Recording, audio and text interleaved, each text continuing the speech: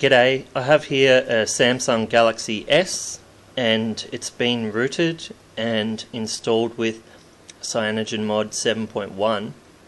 What I'm going to show you is just how poorly this phone works in general. I was having trouble with it. As you can see that error message which continually flashes up on the screen.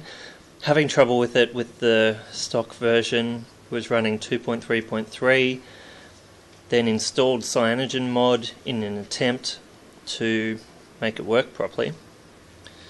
Didn't really help that much. As you can see, we've got CyanogenMod there. Go into the settings, about phone,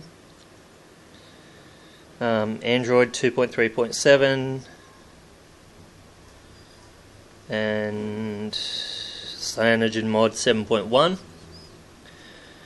Now the problem is when you attempt to open any kind of app, um, you do get this message sorry, the application has stopped unexpectedly.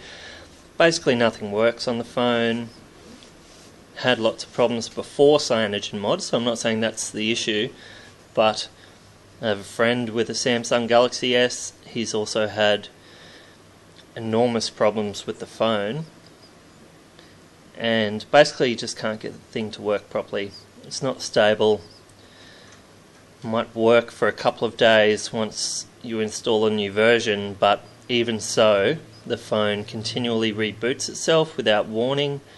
It goes into a mode where an empty battery shows and it keeps attempting to restart and it won't.